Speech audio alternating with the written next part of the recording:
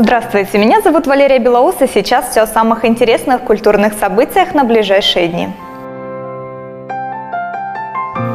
Суббота будет очень яркой, вкусной и насыщенной, потому как открывает выходные Восточный шаверменный форум. Кроме того, что каждый сможет попробовать это блюдо по низкой цене, также и будет возможность посетить познавательную лекцию.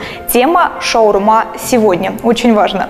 Часть лекции будет посвящена, цитирую, «шаурме для веганов». Речь пойдет о филафеле. Начало праздника в 16.00 по адресу Крылова, 10. Также всех желающих приглашают на не менее интересное мероприятие в Приморский океан океанариум на Русском острове. В стенах научно-образовательного комплекса откроется выставка участников Владивостокской школы современного искусства.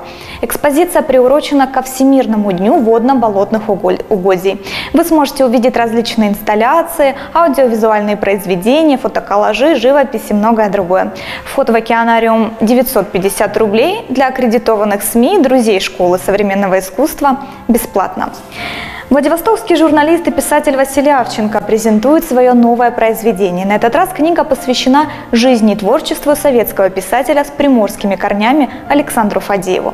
Презентация новой биографии нашего знаменитого земляка состоится 4 февраля в 16.00 в книжном магазине, расположенном на третьем этаже Малого ГУМа. Здесь же пройдет и автограф-сессия, в ходе которой автор подпишет книги всем желающим. В воскресенье всех горожан приглашают посетить бесплатную, но полезную лекцию в антикафе «Третье место». Тема «Профессия SMM-специалист». Вы узнаете, кто такой СММщик, какими навыками ему необходимо обладать, где искать работу, какова заработная плата и подходит ли вам эта профессия и где же на нее обучаться.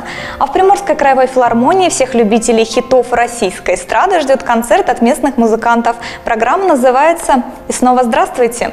Вы услышите эстрадно-вокальный дуэт Натальи Кор Коршикова и Константина Мещенко, Дмитрия Сабитова, лауреата Всероссийского конкурса Александра Пстыга Ольгу Долгополову, а также заслуженного артиста России Валерия Сергеева. На этом пока все. Увидимся на культурных площадках города и до встречи на восьмом.